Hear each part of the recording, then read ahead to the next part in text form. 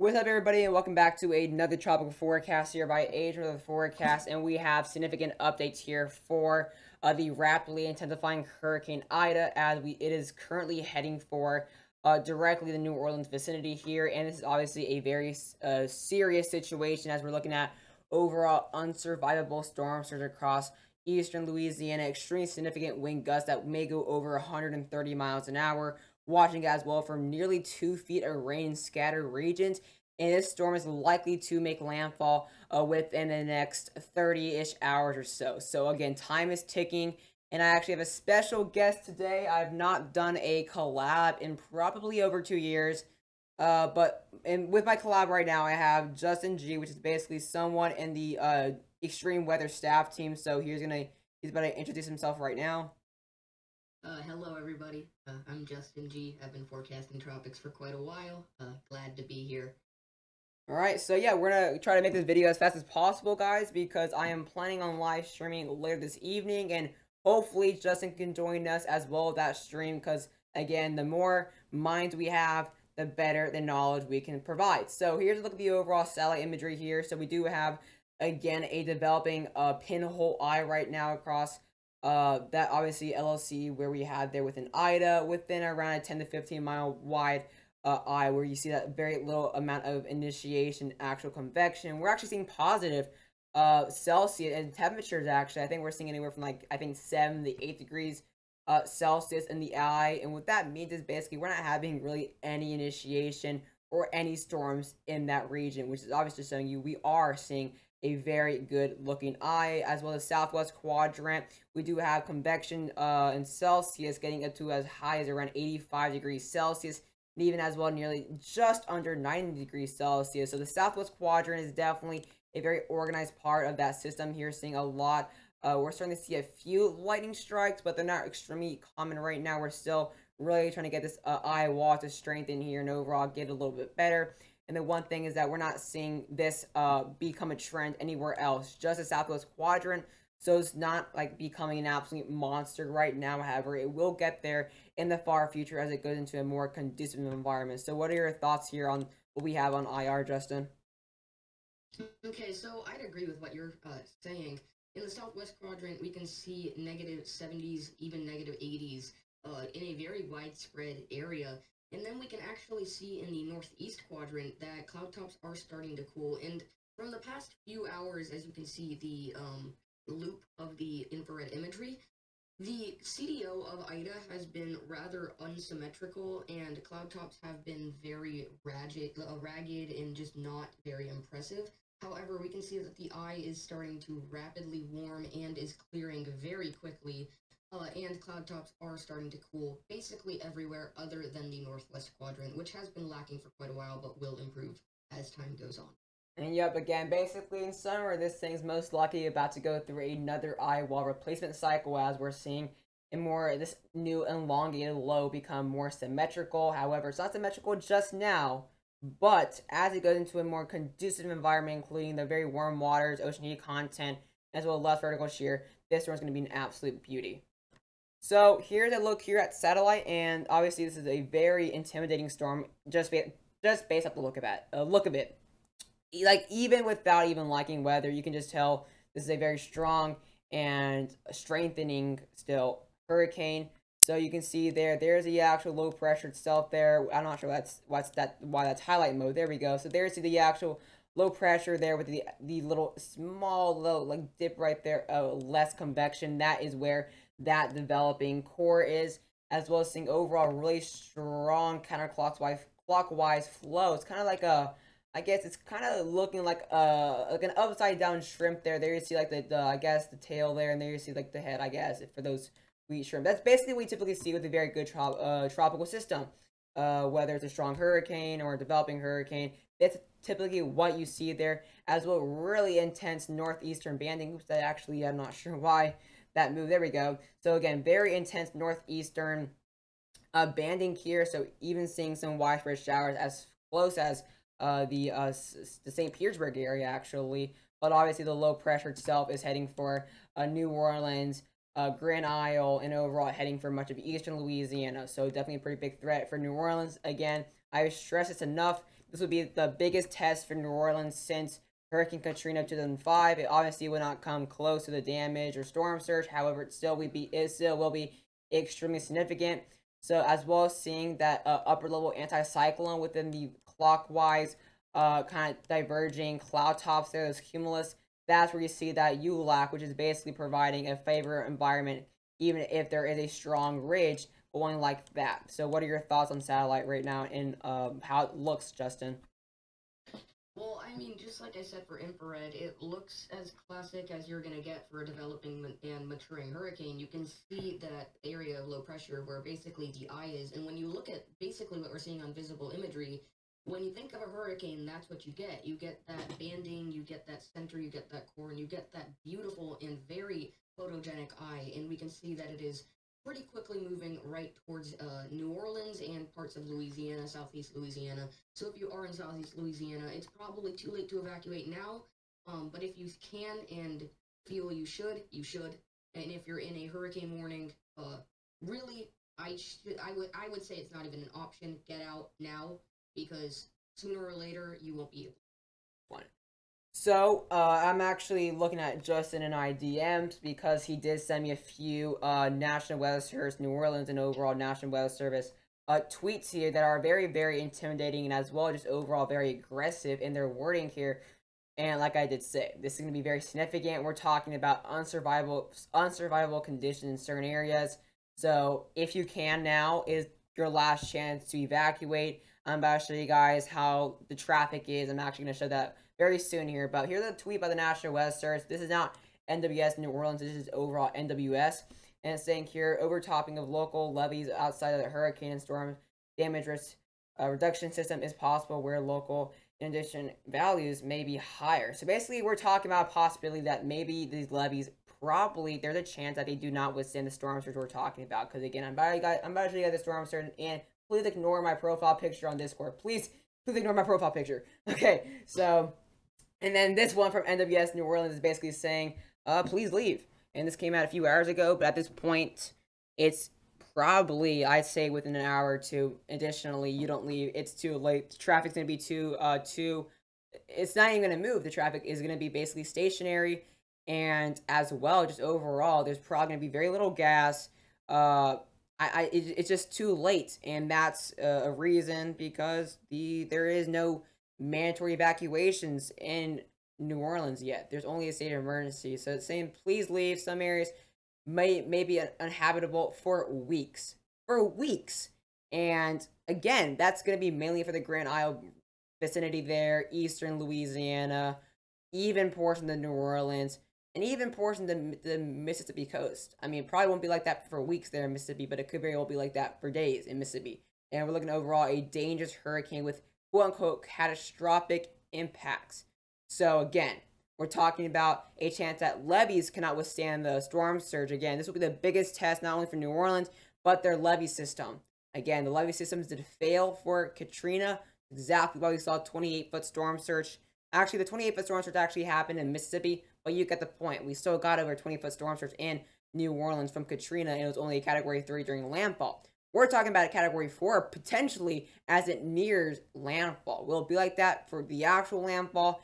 It'll probably still be stronger than Katrina, even if it's not um, its peak strength when it actually hits Louisiana. I mean, there's a chance it could very well be nearing the coast at its peak. Again, looking overall, very warm waters and all that is going to continue even on the coast. So again, there's a chance that the levees will not withstand the storm surge. And obviously, again, it's going to allow for a better chance of higher storm surge, not only in the rural areas, but for downtown New Orleans or for uh, the overall populated areas. So, my, uh, again, colleague Justin just told me that the National Hurricane Center has come out with the 5 o'clock advisory, and Ida is now 105 miles an hour. So, as you can tell, it's still strengthening and likely going to be a major hurricane uh, by this uh, evening here, 8 p.m. or 11 p.m. Eastern has been my prediction. So I think we're definitely on track for that. Pressure has not dropped, still at 976, and it has now moved one mile an hour faster than the last update, moving now 16 miles an hour northwestward. But we're about to start seeing this transition from northwest to uh, basically due north, where it, it's like somewhat due north, basically. uh, as it obviously aims for a portion there of uh, New Orleans there. So again, thank you, Justin, for saying for telling me about the actual advisory because I would have completely forgot about the five o'clock advisory. But here's the overall label. Ida rapidly strengthening over the Gulf of Mexico, life-threatening storm surge. Again, this could very well be deadly in many cases because nobody that I know of is 15 feet tall. I mean, potential catastrophic wind damage and flooding rainfall expected to impact the northern Gulf Coast beginning Sunday. So again, Sunday is tomorrow. So tick is the tick. I mean, the clock is ticking.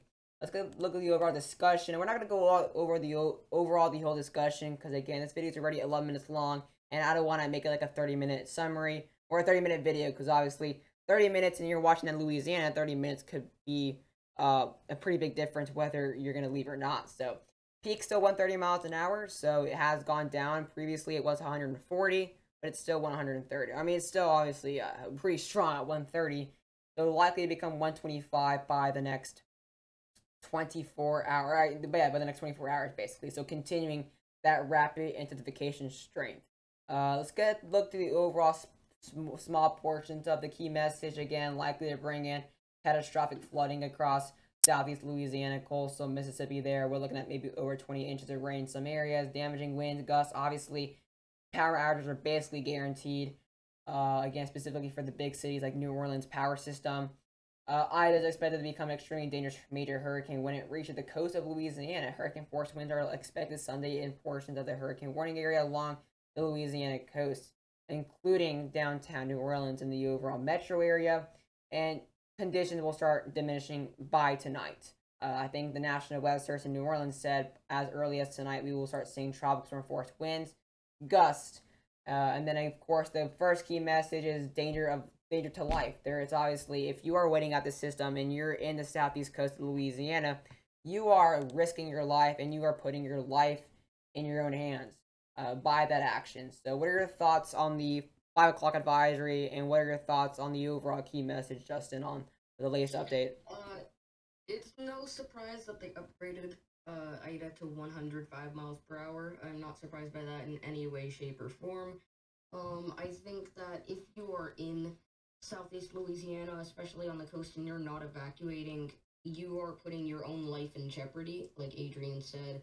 And they now have at closest path, or at closest pass to New Orleans. And I mean, we're not, we're mentioning New Orleans a lot because it's the ma- it's the biggest city really in the Gulf Coast and they have now making a closest pass at 38 miles west of New Orleans.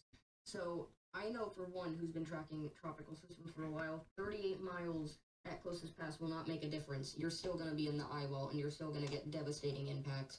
And they do have a landfall 10 to 15 miles west of Grand Isle. So if you're in Grand Isle and haven't evacuated, uh, I hate to say it, but you're really just not smart. Alright, so I've not really done this in the past videos for US landfalls or any landfall whatsoever, but I decided it's time to change and I should become more detailed when it comes to life-threatening situations, right? That's a smart idea. So, here's a look at the overall, uh, I guess, the overall, um, traffic, live traffic as of now.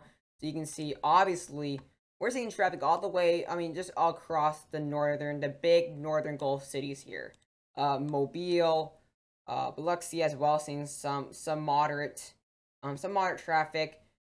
Even Houston is getting some overall pretty significant traffic. But look at these areas here near New Orleans and areas that are actually on bordering states, such as Texas. Look at Texas, for example.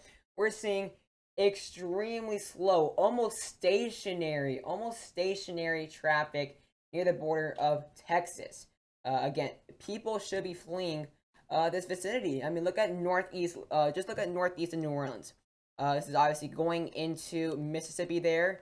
Uh, let's see here. This is uh high. This is uh Interstate 10, and then going into Interstate 59. We're seeing extreme, almost stationary, uh, stationary uh, traffic as people are fleeing the city of New Orleans. You can see now across downtown there are a lot of areas of extreme to slow to fast traffic. So there's traffic all over the place as well, I really want to point out one specific area for traffic, and one only, and that is Grand Isle, because Grand Isle is seeing not only super slow traffic, but stationary traffic. The traffic is not moving one bit. And you know why? It's because Grand Isle is in the middle of the actual uh, direct landfall path. I mean, they're going to get absolutely hammered. If you're a Grand Isle and you're watching this right now and you have not left already, I'm sorry to say this. I am extremely sorry to say this. But there is a chance that this could be the last storm that you see. I, I hate to say it like that, but this is talking about 15 or even more storm surge. And Grand Isle is in the high area of flash flooding. They are obviously in a hurricane warning. They are in a storm surge warning. And we may see more than 15 feet storm surge in the general vicinity of Grand Isle. I mean, look at the look at the geography. It's a small little island, and if this does make landfall to Category Four again, you're like way like from New Orleans, so you're not gonna get any threats, or you're not gonna be any. You're not gonna see any hope of it weakening because this is this little land is not going to affect it much. It's not to be until it actually gets towards the actual main inland part uh, part of Louisiana. But look at this, little small houses like this are not going to withstand something like that. Obviously, it's not like it's going to be like catastrophic and it's unrecognizable like Dorian, but this is to be definitely a complete different uh, image. I guarantee if we look at it like three days later and we look at the same exact area, it's to be hard to recognize some areas. You can maybe recognize some parts, uh, but as well the traffic is pretty significant as well, uh, kind of leaving the airport or at least towards the airport near Grand Isle. So I wanted to really point out Grand Isle because obviously they are basically not only an island, uh, kind of far off the general vicinity, but they're in a very swampy terrain. And for those who know what brown ocean brown ocean effect is, it's basically when storms form over swampy lands uh, or inland vicinities. And that's obviously, I'm not saying it's going to happen, but what I'm trying to aim is that this is not going to weaken in your area just because you're a small island, just because you are uh, land. And of course, a lot of this vicinity is under sea level, and you can obviously kind of tell with the mouth of the river right here. And it's obviously going to allow for some significant storm surge and above water uh, sea levels uh, or above water levels to go into downtown New Orleans. So not only are we watching out for storm surge, but overall uh, just extreme, uh, just extreme conditions, not only in the actual Atlantic coast, but the the mouth of the river. What are your thoughts on this, Justin? And how much, like, how, like, look at all like the um, uh, not power outage, sorry, the, the traffic going all the way to Mobile. Like, what are your thoughts on this? Like, you, do you think it's too late to leave now? Like, what do you what do you say? Uh, as of right now, us making this video, I know it is five o'clock Eastern time. I think now is your last chance to leave. If you don't leave, you are putting your life in danger, and in about two hours, I would say, then you're gonna be done. You can't leave after that, and you're just gonna have to sit and ride this out. And if you're in places like Grand Isle, there's a chance you could go into this storm and not come out. I'm not saying that for people that are in in New Orleans, say, because they're in a major city. However, you're still putting your life in danger if you are in New Orleans and not leaving. The cone continues to shift east, and the storm continues to shift east, and it looks like a direct impact to New Orleans is very possible at this point. And I think that the traffic's just going to continue to get heavier, and I really do hope it clears by tomorrow once the storm starts making landfall, but it's really uncertain whether it will just because there is so much traffic. So here's the latest look here at the overall 5 o'clock advisory or 4 o'clock Central Time um, cone here for the National Hurricane Center. You can see this is extremely symmetrical. I mean, that looks like uh, I mean, that, that's just beautifully built. This storm is beautifully, beautifully, beautiful. Oh my gosh, beautifully built. There we go. I could not get that word out. Okay, there you see though, very symmetrical, not necessarily really elongated. Really, at this point, uh, I mean, the the tropical storm current wind sustained is basically very evenly distributed across from the LLC, basically. So for those who know how to find, like, like I guess like uh the radius and like that, you guys would know what I'm talking about. And there you see as well, this uh, hurricane wind field is actually not too jabby as well. It's going to continue to really, really expand as the storm strengthens. Again, so has all that really warm ocean heat content within the general vicinity here. And it's going to just continue to strengthen. It's already 105 now. And it, like Justin told me earlier today that it's barely even in the actual main ocean heat content bubble of 200 meters of uh, 80 degrees Fahrenheit. And it's going to about to go through that tonight, and obviously we all know nighttime is the best time for storms to rapidly intensify. You see a cooler atmosphere allowing for colder cloud tops and as well uh, overall more widespread convection, diurnal maximums obviously, and overall that's just the best chance. So the fact that we have that nighttime and then we have the big ocean heat content at the exact same time it's just bound for this storm to be an absolute monster. So again, like we did see, National Hurricane Center wants 130 there for landfall. And like we just talked about Cedar Key, or not Cedar Key, sorry, that's in Florida. Uh, Grand Isle, they're right in the basically in the, in the in the path of the northeast quadrant, not the northeast quadrant of the actual outer band, but the northeast quadrant of the eye wall, which is the most intense part of the storm right now. Or not, the, uh, yeah, that's where we had the strongest wind. But right now, the southwest quadrant has the most amount of convection, but that will most likely change. But again, hurricane warnings here for a lot of even south central Louisiana there. But like Justin mentioned as well earlier on, this track has shifted eastward, and looks like New Orleans may have a chance or increasing chance to get an absolute direct hit, which will most likely lead to again maybe over 15 foot storm surge within that general vicinity. And then tropical storm warnings all the way from Cameron, Louisiana, all the way up to Mobile and near the Pensacola region. Likely to stay as a hurricane as it goes directly over Baton Rouge. So obviously, we, we for people who like don't know capitals, you probably think New Orleans was the capital, but no, Baton Rouge is the capital, Louisiana. And based on this map and based on this forecast, it's gonna go straight over Baton Rouge as a Category One hurricane. And Baton Rouge typically is not really used to getting hurricanes sustained.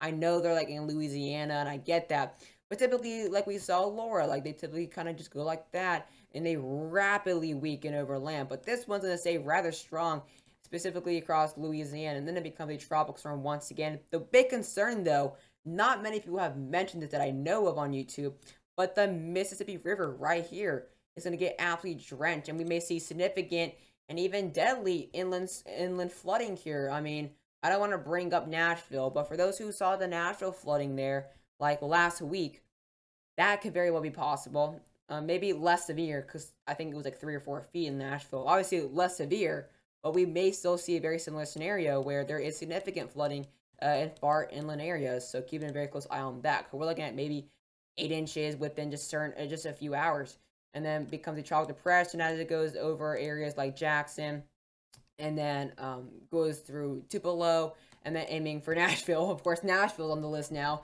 uh, for a tropical depression. Uh, but let's now get a look at the overall, uh, more zoomed in on the actual warnings and advisories and alerts we have. So again, the pink is, uh, the purple is no bueno. That is where we have the hurricane warnings. So hurricane warnings go far inland, very far inland. That's because obviously it's not going to weaken that quickly over land. He's going to probably be uh, sustained 80 or maybe 85 if it goes within the vicinity of Baton Rouge. The Baton Rouge, New Orleans, and Grand Isle are all those cities that we're really watching out for uh, within Louisiana, as well. Morgan City's under that as well. Tropical warnings go all the way from the Texas border, including Lake Charles. They're all the way up to Mobile, and Hattiesburg is under one as well.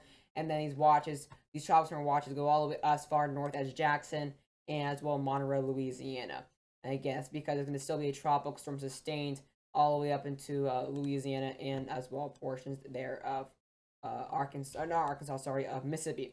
So now one thing I really want to keep a close eye on is a storm surge here, and I know Justin has not talked in like five minutes, uh, but that was planned. So he's going to talk very soon here. But look at this storm surge above ground level. Again, we all know that New Orleans and Southeast Louisiana is below sea level, and that's why Katrina did what it did and that's why hurricanes are such big threats here when they head for areas like this. And that's the same very very similar scenario for the Keys in Florida. But there you see 10 to 15 foot storm surge across southeast Louisiana, with 7 to 11 foot storm surge here across portions of southeast Mississippi, uh, sorry, southwest Mississippi and southeast Louisiana, with 4 to 7 foot of widespread across New Orleans and as well near uh, Biloxi and then two to four feet all the way up to Mobile. But let's forget about the other places right now. We're specifically focused for the 10 to 15 and the 7 to 11. So, not the gas station, but the storm surge. But yeah, 10 to 15 foot storm surge. I mean, that's unsurvivable. For those who have common sense, no one gets that tall. And for those who have seen videos of storm surge that high, it's basically like a flowing river in a city. It, there's currents in storm surge. So if you get caught up in the storm surge because you're outside or you're trying to evacuate last minute, storm surge is obviously the biggest killer within hurricanes. Not the winds, but storm surge and flooding. So what are your thoughts on this, Justin, and the storm surge and how people should handle it if they stay? Well, if you stay uh, and say you're in places like Grand Isle where it's 10 to 15 foot storm surge, likely will be higher in places. Um, well, you can't handle it. You can, as uh, I, when I was talking to one of my close friends yesterday who also knows a lot about meteorology, who uh, actually we collaborate with uh, Adrian a lot and we're friends with him, and we work on the same team. He said a great quote. He said, You can run or you can hide from winds, but you have to run from storm surge. And you can't run from storm surge because at one point it's just to take over. You can't, nobody's 10 or 15 feet tall. We know that. It's not humanly possible. And really, there's no way to get away from it. You have to go to a higher floor, and really, 15 feet, that's still not high. The, the higher floor isn't high enough in most places. Um, I am looking at recon data, and this has to do a lot with storm surge because the bigger the size of a wind field, the usually the larger storm surge impacts there is. And recon is finding that the wind field of Ida has expanded greatly, and that there is 84 knot um, flight level winds well away from the eye wall, with 70 knot uh, surface winds also well away from the eye wall. So I'm very nervous to see what Recon's going to find, but it is known that the wind field is expanding greatly, uh, and storm surge impacts will likely be a lot um, more significant. And speaking of recon, I have not forgot about that. I'll be showing that at the very end of the video so that you guys can get an overall overall look at what they see. But again, like Justin said, the larger the wind field, basically the wider the spread, the storm surge. And probably for those people who are wondering why is the storm surge high across these areas, it's because obviously with the counterclockwise flow, we, what you see with low pressures and hurricanes, that flow is going to pick up the waves and take it for the areas that are just to the east of the main landfall. In some parts, sometimes if it's very symmetrical, the storm like it is now, you may see the worst peak as well just west of the low pressure landfall. So based on the national nursing, they want to have it kind of hit right here. But I personally think it could very well go near here. Again, I just circled base. I just went over New Orleans. I know I didn't do that on purpose. I'm just saying I'm not trying to scare you by going straight over New Orleans, but that's most likely based on the new circulation of the low pressure where it's been found further eastward than the edge of the track. It's likely going to get a lot closer to New Orleans than what people are thinking. So again, you're seeing a lot of that really intense storm surge just to the northeast of the actual landfall. And then when it's very symmetrical, same thing will happen just to the west at the, the low pressure. So let's not get a look here at the flash flooding threat. We're going to kind of go very fast throughout this because the video is already rather long. So we do have a high risk there across uh, portions of southeast Louisiana for flash flooding, which is 50% uh, chance, which is extremely high, and moderate going all the way up to central Mississippi and northern Mississippi. So again, like I did say, going to be pretty big threat there within uh, inland portions as well. Uh, here's a more detailed on the actual totals, getting it maybe over 15 to 20 inches, and even maybe over 20 inches across Louisiana. And another, I guess, and more accurate is the Weather Prediction Center, and they actually want to have scattered spots there just off the coast of 20 plus inches of rainfall, even seeing significant 6 to 10 inches all the way near Mobile, so significant flooding there. And that's going to continue as it goes all the way northward into even inland Mississippi and Nashville. We're going to get some pretty overall significant amount of uh, overall rain. I mean, this is going to be not only a big coastal flooding threat, but as well pretty far inland uh, threat. Wave heights we have at the moment here going to get waves of over 25 feet at this point, and I will go to the actual future forecast of the waves uh, a little bit later into the video. So here's a look at the NAM 3 kilometer here, and I know NAM 3 kilometer, I bash it all the time for tropics, but it's pretty accurate when it comes to just simulating radar and composite reflectivity. So that's exactly why I'm using that. And I don't want to make the video super long. So I'm not showing the GFS, CMT year, and all that. And all that fun stuff. So again, starting to see a few of those outer bands starting to affect portions of Louisiana as early as, let's see here, the next six hours or so. And that's going to start really diminishing here when we wake up really tomorrow morning.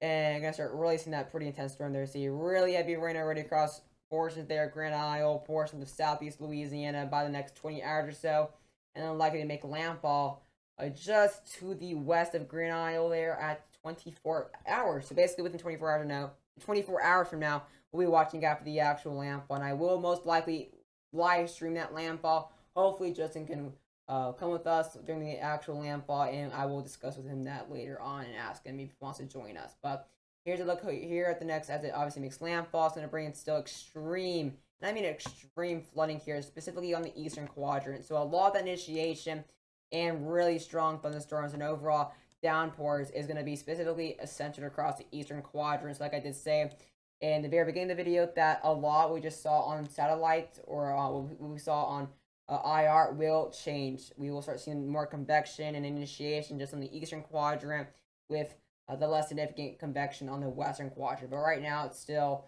the way it is. But here's the GFS here. GFS wants to have just an absolute monster storm there, 93 miles an hour.